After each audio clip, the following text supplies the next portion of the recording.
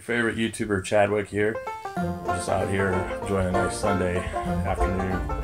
The sun came out, the wind stopped. We've got nice conditions for a little fire. So what I've done is I've fired up the wheel stove, and that's what that's what this is. And so you'll see that this is a stove made of three wheels, just old wheels that were laying around.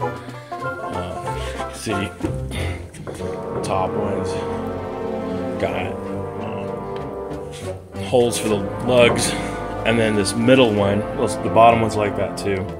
I'll zoom in, you can see the grating I put down, but it's got uh, spokes as well. The trick here is the center one does not have any spokes. And that's called a few things. It's called a California hub. It's called a trailer hub. Uh, you might hear of it as like uh, a truck hub. Um, you don't see them on 18 wheelers anymore because they're a little bit dangerous. But there's there's no spokes in the middle of that, so they just mount the tire on it, and then it's held onto the hub of the trailer with cleats, those those can come on off.